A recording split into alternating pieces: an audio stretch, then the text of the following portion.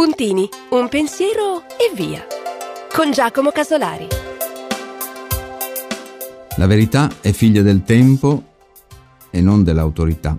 Sir Francis Bacon, filosofo e statista inglese. Verità figlia del tempo e non dell'autorità. Si dice che il diavolo fa le pentole, ma non fa i coperchi.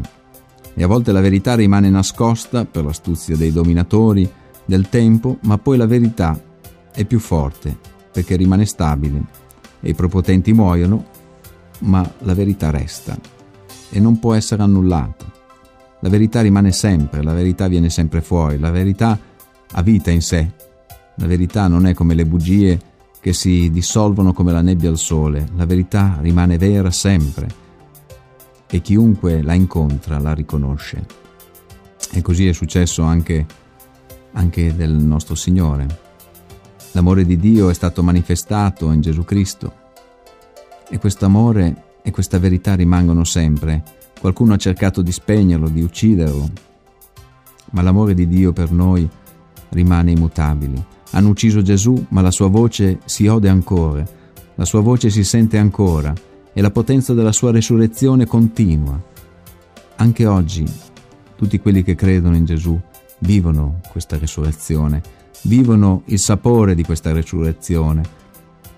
Non temere se sei vittima di bugie, non temere se sei vittima di diffamazioni, se hanno infamato il tuo nome, la tua persona, la verità nel tempo uscirà, in tutta la sua forza, e tutti quelli che vorranno vederlo lo vedranno e chi vorrà ignorare continuerà ad ignorare, come ancora oggi molte persone continua, continuano ad ignorare la grazia di Dio, continuano ad ignorare l'amore di Dio.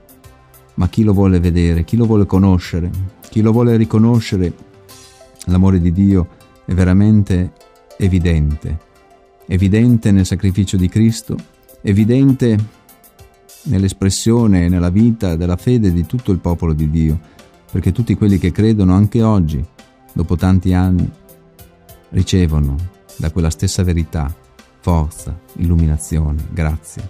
Dio ancora oggi ci riveste della sua grazia e del suo spirito, ancora oggi Dio dà potenza alla sua parola perché tutti quelli che credono ricevono vita. Ancora oggi riceviamo benedizione semplicemente per quella verità dell'amore di Dio manifestato in Cristo Gesù.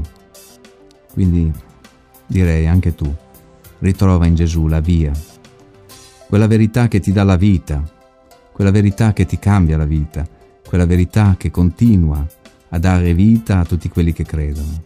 Che Dio ti benedica. Un abbraccio da Giacomo.